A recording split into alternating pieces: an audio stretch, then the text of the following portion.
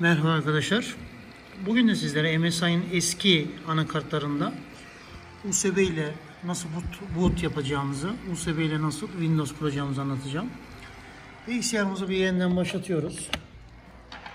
Başlar başlamaz bilgisayarımızdan bu anakartlarda BIOS'a girmek için Delete, Delete tuşuna basıyoruz arka arkaya.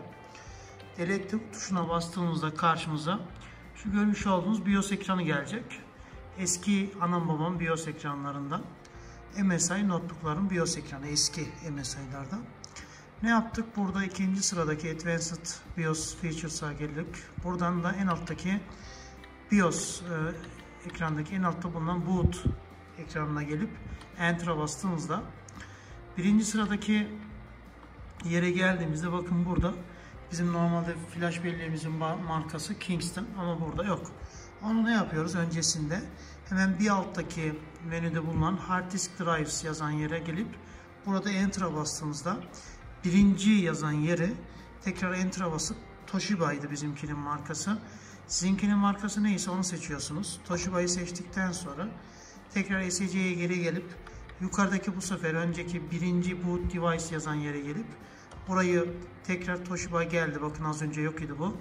Tekrar Toshiba'yı seçtiğimde F10'a basıp kaydet dediğimde bu eski MSI bilgisayarlarda USB ile şimdi birazdan göreceğiniz kurulum Windows kurulum ekranına ulaşabileceğiz.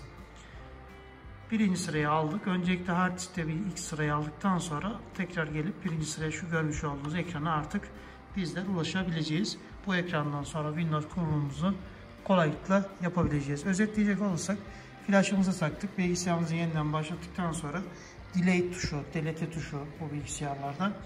Delete tuşuyla, delay tuşuyla BIOS'a girdik. Oradaki hard disk drives'ta birinci sıraya USB'mizi aldıktan sonra first boot'u da tekrar o hard disk sekmesindeki aldığımız BIOS e, USB markamıza getirdikten sonra kaydedip çıktığımızda kurulum ekranına ulaşabileceğiz. Kolay gelsin.